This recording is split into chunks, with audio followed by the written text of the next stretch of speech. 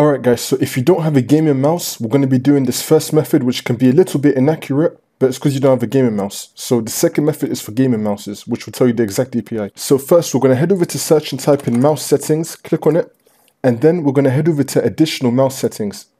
Once this opens up, we're going to head over to pointer options, and then you want to make sure that enhanced pointer position is unticked, and then click on OK. Once you've done that, we're going to head over to any web browser, and then we're going to type in DPI Analyzer click on it and then we're going to go to this link which will also be in the description.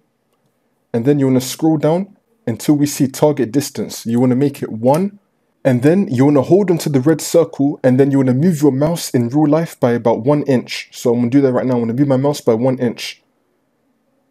And it took me to about 400 dpi 416 and we're going to round it. So 416 rounded is 400 so I'm basically on 400 dpi as I said earlier, it's not exactly accurate, but this is like one of the only methods that you can actually do if you don't have a gaming mouse. You could probably also check on the box where you bought the mouse from and it should say the DPI there. This method is if you have a gaming mouse. So for example, I've got a Logitech G403. So I'm to head over to Google and then type in Logitech software.